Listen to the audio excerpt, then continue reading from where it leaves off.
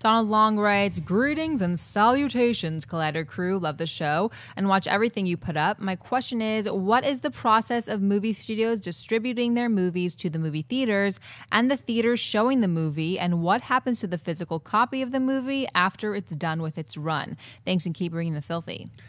Um, well, kind of. I mean, it used to be the days in the uh, olden times that they would take copies of these movies, these reels, pack them up really well, and put them in these salt mine caves uh, where they could, where the air was actually make sure because film there's degradation of the film, and they put them in these.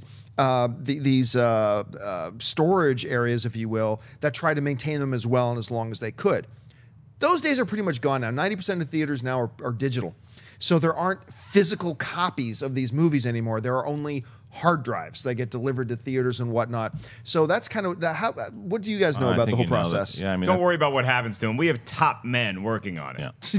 Top, Top men. Top men. men. Hey guys, if you like this clip, click here to watch the entire episode. Also, make sure you subscribe to our YouTube channel because it'll help you stay up to date with all the stuff we've got going on here at Collider.